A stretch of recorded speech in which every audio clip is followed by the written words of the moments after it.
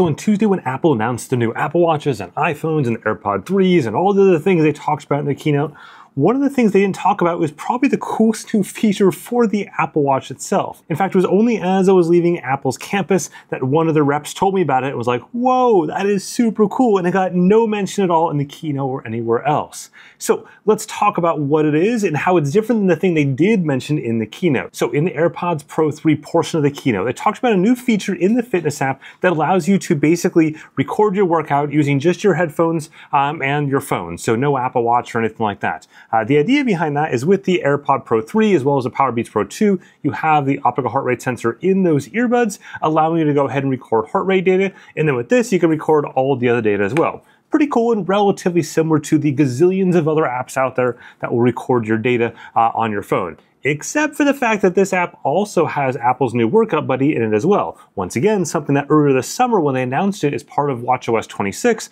required, well, the watch.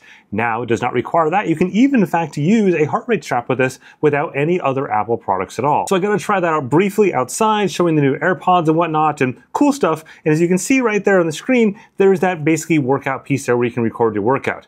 However, here's a kicker. If you were to pair an Apple Watch to that phone, at that point, that new workout page gets a whole bunch of extra features. It gets this new workout builder feature. And not just a workout builder feature, but also a place to see all of your race routes as well. So I'm just going to simply dive through this right now and show you how it all works uh, using my phone. Now you will need iOS 26, and then in the case of wanting the structure workout piece, you'll need some watch running watchOS 26. Uh, now iOS 26 is in public beta right now. The latest public beta has this, but as of Monday, it'll be in production and anyone can download it without any problem at all. And hey, just a quick note, if you are finding this interesting or useful, just simply watch it all the way through. That's the only thing the YouTube gods care about, and we got to keep them happy. So the first thing you do is open up the fitness app that you see right there.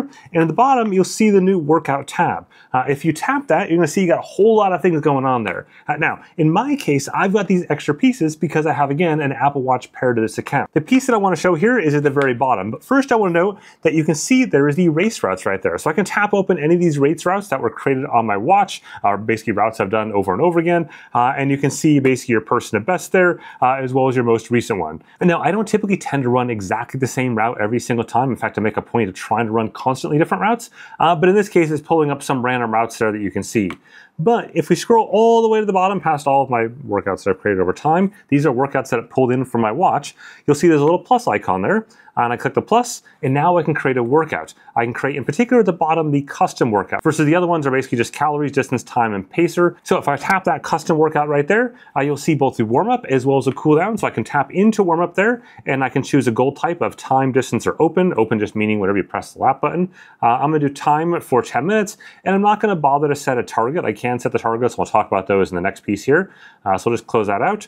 And then I'm going to choose a cooldown. I'm going to set that to be a time-based goal as well um, for five minutes. Uh, now, I think a lot of times it makes more sense for a cooldown to simply have it be open. So if you're, you know, not where you want to be or whatever, you can get back to that point in time. But in this case, I just kind of want to show how that works. There we go. And now I'll go into the work interval. So in interval workouts, you have the work interval and the recovery interval. You can see that toggle right there between work and recovery. Uh, so the work is the part that that hurts. Uh, so in this case, I'm gonna do distance, and I'm gonna do some, uh, let's see, 1600 meter ones.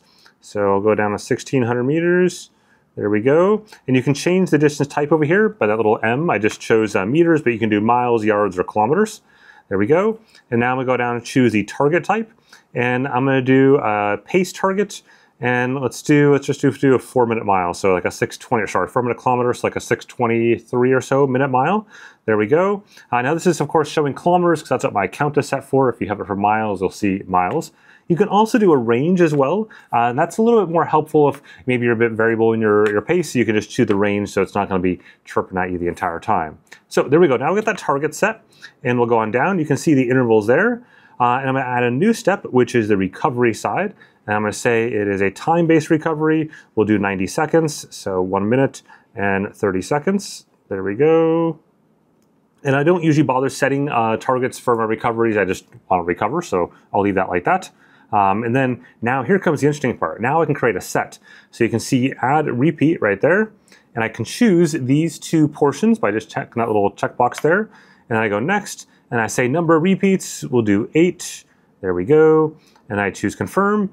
And now you can see there's that repeat to the right hand side. It shows a little like um, circling arrows for eight. Uh, and then it shows the two components that are within that. Uh, and I can do the same thing again. I can add another step. So maybe I want to do, you know, eight by, sorry, eight by 1600s and then do some 400s after that, or whatever the case is. I can also create those rotating, uh, repeating portions in multiple sets if I wanted to. Uh, now, when it comes to like the cycling side, for example, uh, you can also choose those targets. So if I go back here, I'll just choose target for recovery. Uh, you'll see there's pace, heart rate, cadence, and power. Uh, and then for all of these, I can choose different stuff. So for example, heart rate, I have the zones there. I can choose a custom range at the bottom if I want instead, just a, a set value. Uh, for cadence, I got the value as well as the range again. Uh, and the same also for power. I can choose current power or average power. In fact, cadence supported average power as well. Um, and that gives basically average over that particular lap set or that split. Uh, and then down the bottom there, you got your value uh, and your range. And so uh, we're not going to bother in this case putting that in. I guess we are, but we're going to get rid of that up top there. No target. And then uh, I'm going to give it a name here. We're going to call this at the top. So I just tap where it says new custom workout. I'm going to say demo, or 8 by 1600 meters. There we go. And then check this out. At the top here, you'll see this. Um, this will automatically sync to my watch uh, virtually instantly.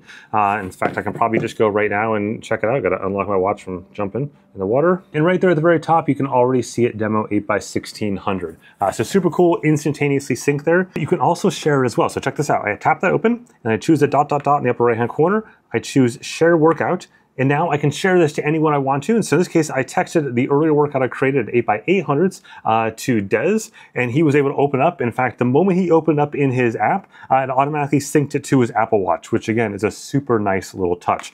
Uh, so it's cool that you can share these. Uh, now, of course, creating structured workouts on the Apple Watch is not new. Uh, something that Apple announced two years ago is part of the Watch OS that was coming out that year, allowing third-party platforms like Training Peaks and a gazillion others to, to push workouts to your watch. And that works great, except for the fact that most of those platforms and apps you have to pay for, and now you don't. So if you want a way to quickly get workouts on at your watch, you can do that. Uh, it's really too bad Apple didn't include this in the keynote. And I get that like they have a gazillion things to include in that hour and a half to two hours, uh, but this would have taken like three seconds, and I think it's a it's a pretty big deal. Anyways, there is a boatload more sports tech coming up over the next seven days, uh, a disturbing amount. In fact, it's basically on par with the disturbing amount this past week, but next week repeat it all over again. So definitely hit subscribe if you're not already, because there is a ton more to come. With that, have a good one.